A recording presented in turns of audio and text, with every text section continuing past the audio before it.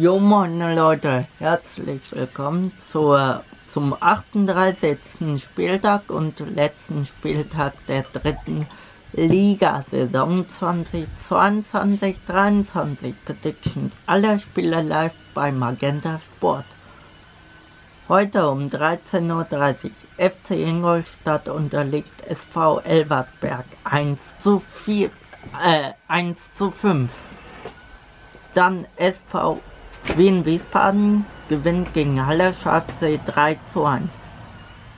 FSV Zwickau verliert gegen TSV 1860 München 1 zu 3.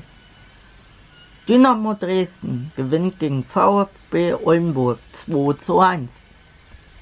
1. FC Saarbrücken unterliegt FC Viktoria Köln mit 2 zu 5.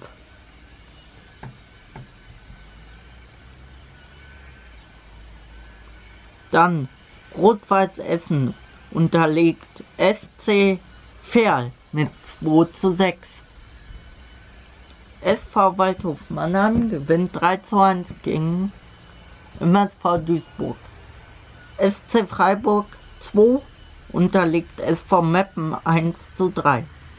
Spielvereinigung Bayreuth gewinnt gegen FC Erzgebirge Aue 3 zu 1 und VfL Osnabrück gewinnt gegen Dort Borussia Dortmund 2 mit 2 zu 1. So, das war's von den Predictions am letzten und 38. Spieltag der dritten Liga Saison 2022-23. Und schauen wir nun auf die Abschlusstabelle.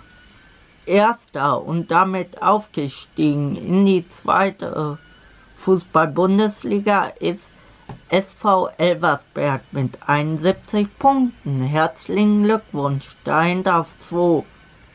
Der SC Freiburg 2 mit 70 Punkten. Eigentlich normalerweise sind ist der zweite auch aufgestiegen, aber dass es SC Freiburg 2 heißt, dürfen die nicht in die zweite Bundesliga. Dann Relegationsplatz zur dritten Li äh, zur zweiten Fußball-Bundesliga auf drei der VfL Osnabrück mit 67 Punkten, gefolgt von SV Wien Wiesbaden ebenfalls mit 67 Punkten. Dann auf 5 der 1. FC Saarbrücken mit 66 Punkten. Auf 6 ist Dynamo Dresden ebenfalls mit 66 Punkten. Dann das dann unten weiter auf 15 der Halle Schafzee mit 41 Punkten.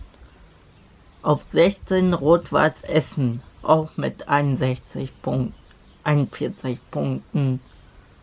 Dahinter auf 17 SV Meppen mit 37 Punkten. Dann auf 18 der VfL Oldenburg mit 35 Punkten und abgestiegen der FSV Zwickau mit 34 Punkten und abgestiegen in die Regionalliga Bayern der Spielvereinigung Bayreuth mit 31 Punkten auf dem letzten Platz. Mein Beileid. So, das war's mit der mit den Predictions und Abschlusstabelle der dritten Liga Saison 2022-23 Prediction. So, wenn euch das Video gefallen hat, lasst ein Däumchen nach oben da. Vergesst kein Abo, daneben ist das Glöckchen, das nicht vergessen zu aktivieren. Dann verpasst ihr keine Benachrichtigung auf diesem Channel. Bis dann. Gut Kicks. Ciao.